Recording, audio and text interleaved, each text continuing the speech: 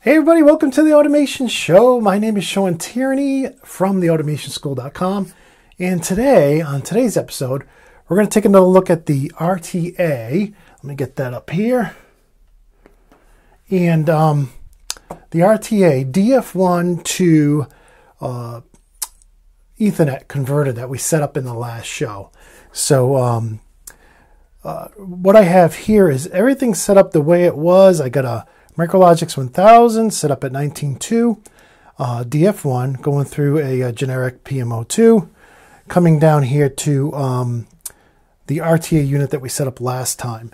And we gave this an address in the last show of 155.192.168.1.155. So from there, we were able to go online. I actually have, let's see if we can switch over here to the PC. And I'm actually online just as a refresher here.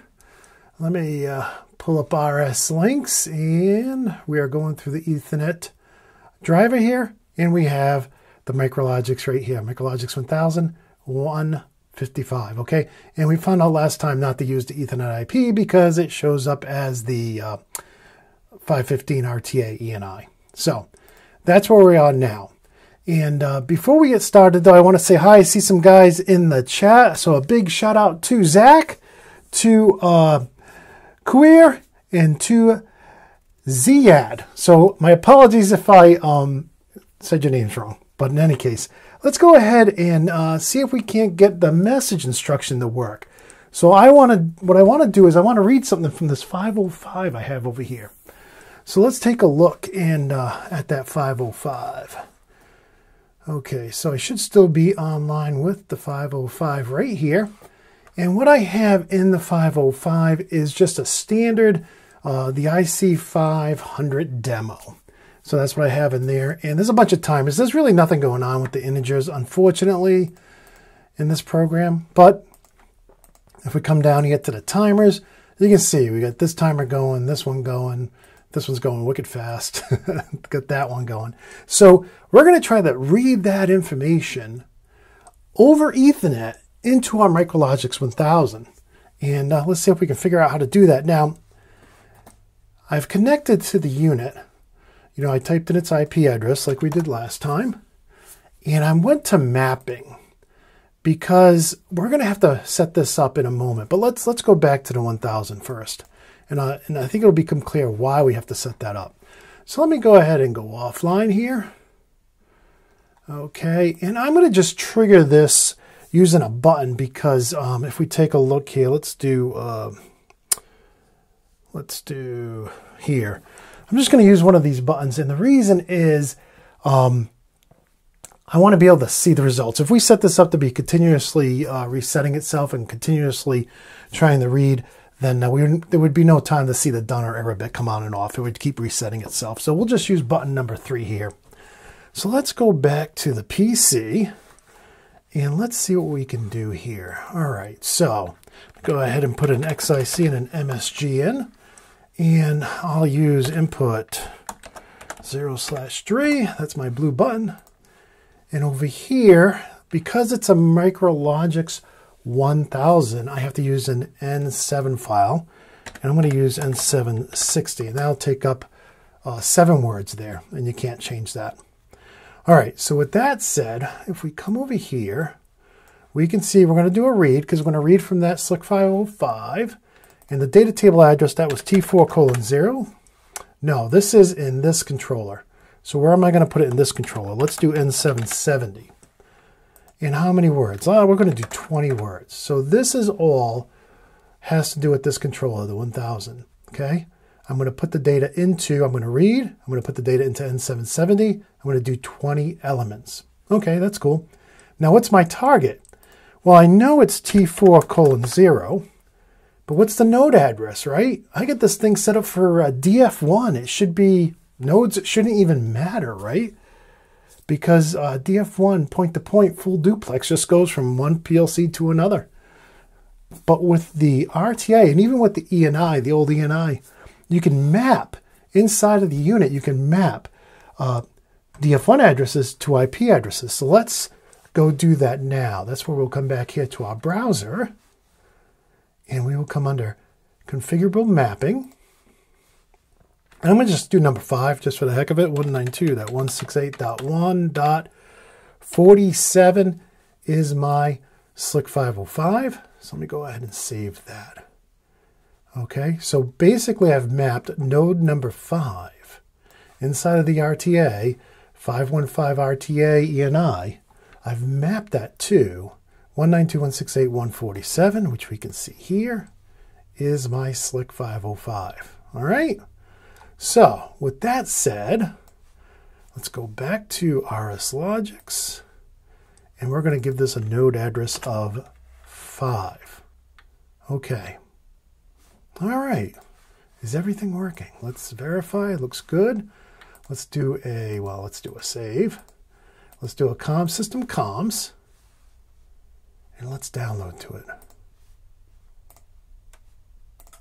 Okay, you can hear the relays turned off.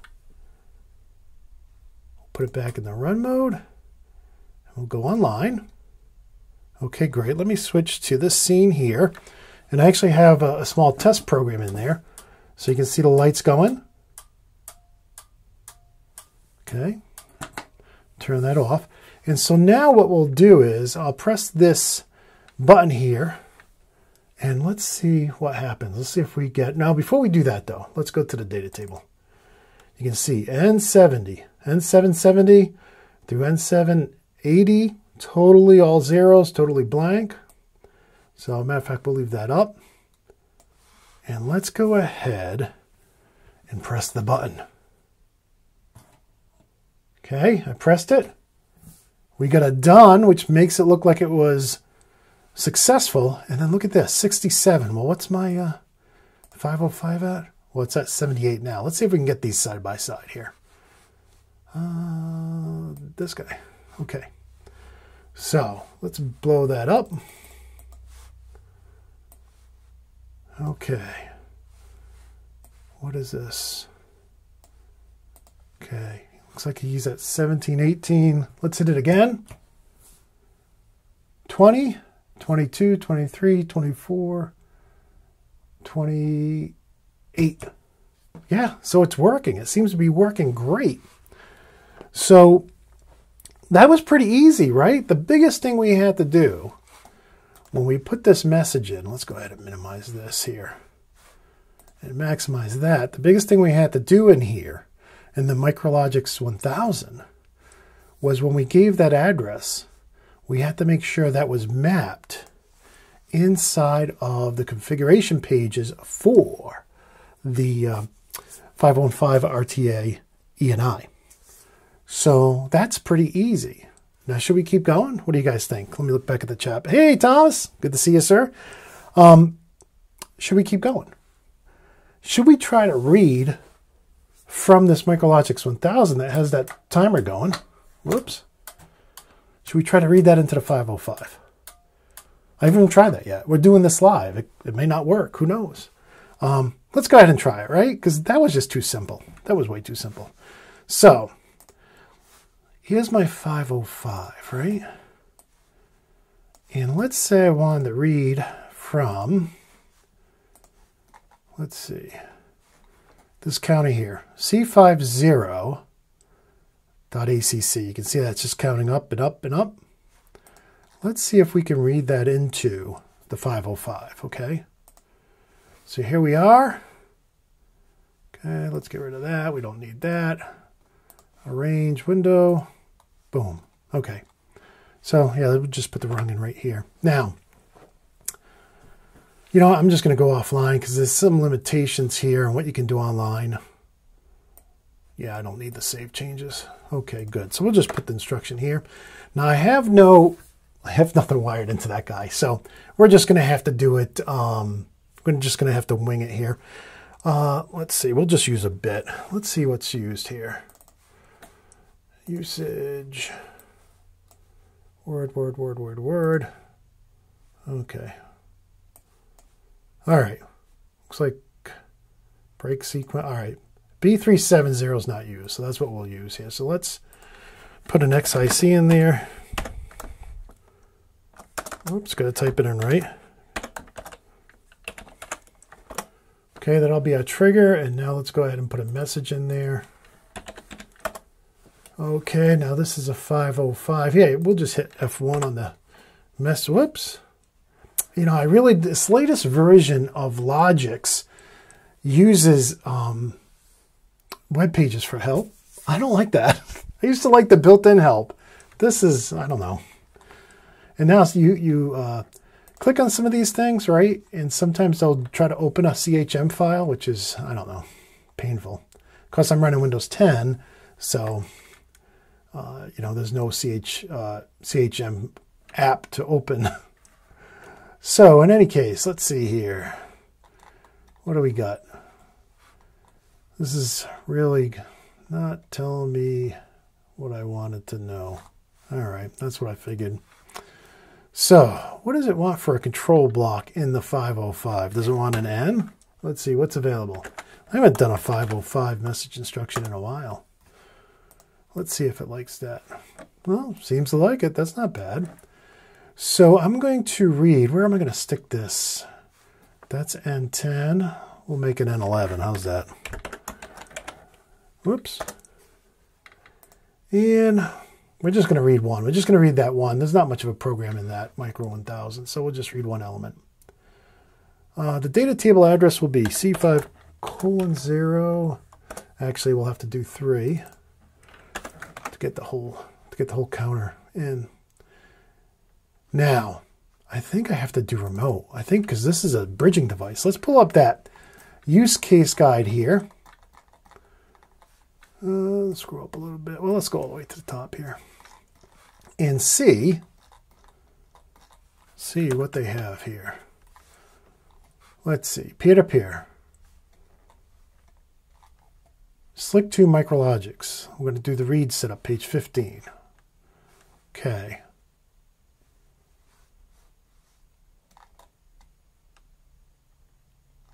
That doesn't make any sense. Data table size, channel.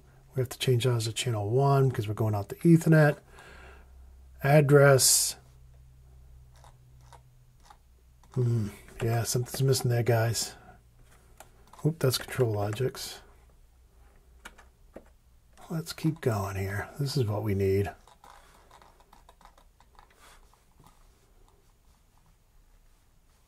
Routing information. Channel 1.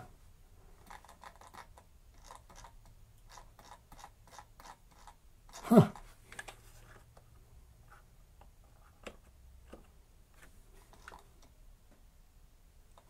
Interesting. Maybe we don't. Maybe we don't need that. Hmm. Okay. So, we do need to change it to channel 1, though. Okay.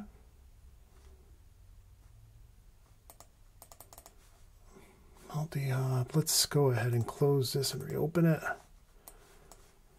Let's see here, Ethernet IP address 192.168.1.155.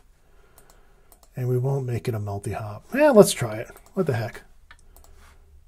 This is live TV, right? So maybe it won't work. Who knows?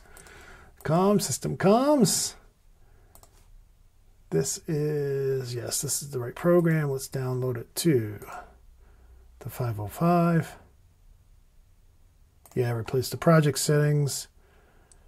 Yep. Take it out of run mode, do the download. I'm not going to apply any changes. Change it back to run mode. Go online. And now let's see what happens. Error. Oh, connection was broken. Interesting. The only thing I can think of doing would be to change it. Let's go offline here. No, don't save changes. Would be to change it to a multi-hop.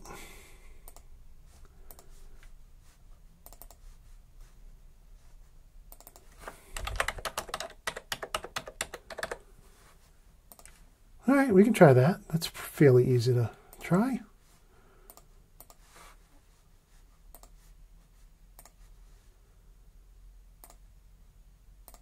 Okay, just take a second. The 505's quick, so that's nice.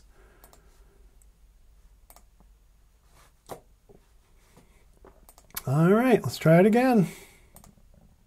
Oh, it worked. Is that all it needed to be as a multi-hop?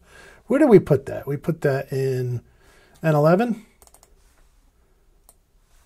Okay. Well, it looks like it was at 461.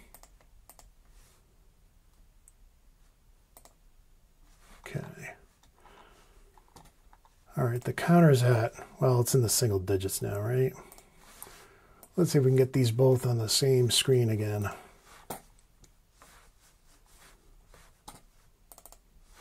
Okay. And counter. All right. It's already in the 40s, getting ready to go in the 50s. Let's toggle this off. It's at 55. Done.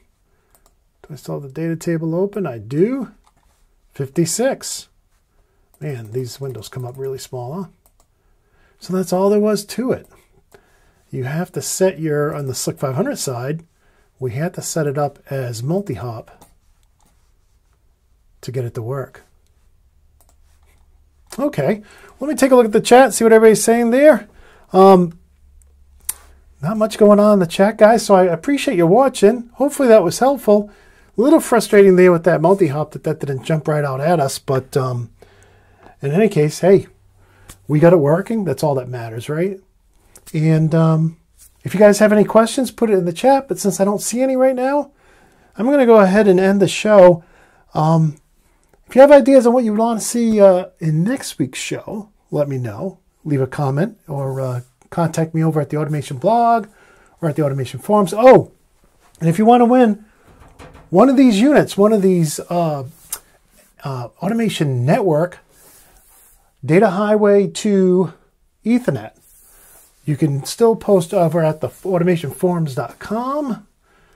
And um, let me see here.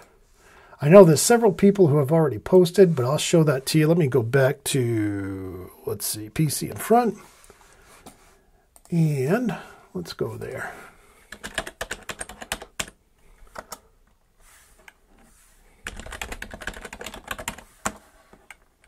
Right.